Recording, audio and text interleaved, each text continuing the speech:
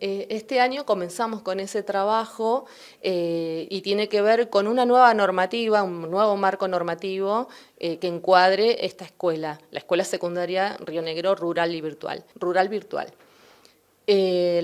consiste en un nuevo, una nueva norma que nos permite revisar las prácticas y la mejora eh, de la enseñanza y la mejora de los aprendizajes de todos los estudiantes que tenemos en las comunidades rurales de la provincia de Río Negro.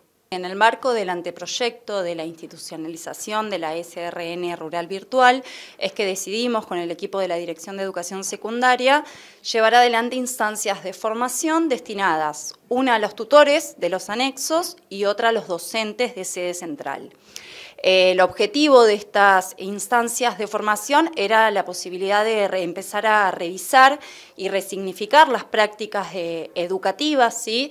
Teniendo en cuenta el marco normativo vigente y los marcos teóricos actuales, para empezar a generar prácticas más situadas, ¿sí? Eh, teniendo en cuenta que esta escuela tiene la particularidad de estar atravesadas por la intersección de la ruralidad y la virtualidad. Así que estamos muy contentas por, por el gran número de la participación y por la calidad de esas participaciones.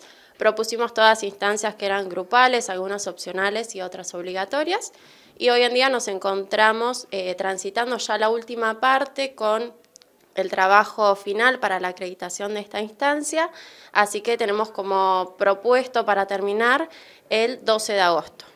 A partir del 1 de septiembre eh, va a tener continuidad la instancia de formación destinada para docentes, si bien los objetivos de, ambas instancias de formación eran los mismos, eh, tienen particularidades en, la, en, las actividades, digamos, distintas. ¿no? Esta está bien focalizada en lo que implica una práctica de enseñanza, una planificación situada, teniendo en cuenta por ahí la realidad y los distintos contextos eh, de cada uno de los anexos. comenzará el 1 de septiembre y tenemos estipulado la finalización para fines de octubre. Pensar la SRN rural virtual para la Dirección de Educación Secundaria es algo primordial y es una línea de acción fuerte para lo que es este año, así que también ambas propuestas tienen declaración de interés del Consejo Provincial de Educación, así que bueno, esperemos que también se sumen los docentes que hoy están en sede.